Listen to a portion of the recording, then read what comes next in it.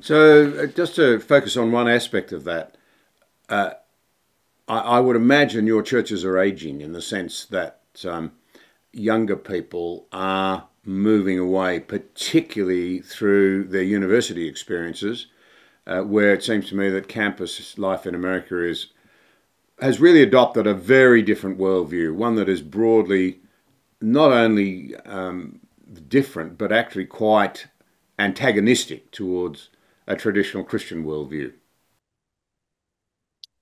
That's interesting. I'm not sure that the tension uh, that you're describing between the worldview of uh, mainstream secular universities and the worldview of traditional religious institutions is something that has changed, uh, particularly over the past few generations. I mean, we have pretty good sociological data that tells us that uh, universities have been broadly speaking, to the left of American culture um, uh, in in general. I mean, gosh, I mean for for at least a century that's been true. So my own my own, own university is located in a town called Chapel Hill, and you can go back more than hundred years and find conservatives in the state of North Carolina referring to my university as Red Hill because it was a den of atheistic socialists. So that tension you're pointing to goes back uh, quite a long ways, long predates the real collapse in uh, religious faith and church attendance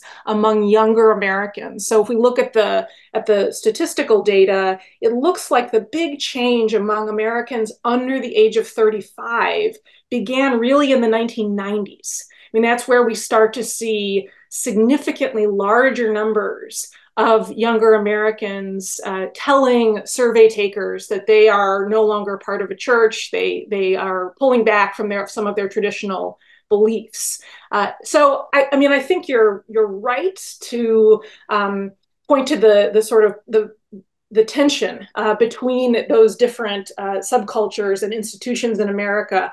But that's a that's a long-standing pattern, and as I've studied the big picture of the history of secularization and the transforming role of organized religion, it has seemed increasingly to me that uh, faith and reason have always been in tension. You know, I think they've been in tension since the days of, of the ancient Greeks.